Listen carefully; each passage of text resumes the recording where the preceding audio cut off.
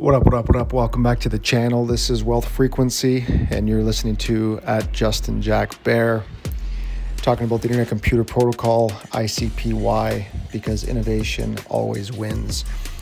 I wanted to show you this beautiful graphic that was shared on X at Neil Hillman, uh, now known as ICP Legend 1966.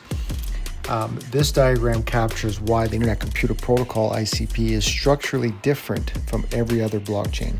It natively connects smart contracts inside canisters, encrypted canisters, to both Web2 infrastructure and external blockchains without bridges, wrappers, or trusted intermediaries. ICP canisters can make direct HTTP requests to traditional servers and cloud databases while chain key cryptography allows them to sign and interact directly with networks like Bitcoin and Ethereum.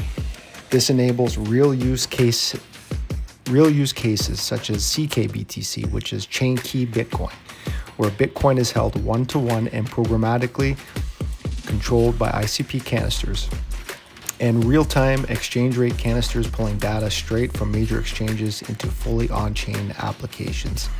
The result is a single execution layer where DeFi, Web2 services, real world assets, and cross chain value flows converge natively, not bolted together. Built for scale, sovereignty, and full stack decentralization. And this is just a great example of why the future is moving to the world computer. Thanks again to the ICP Legend 1966, and until the next video, stay groovy.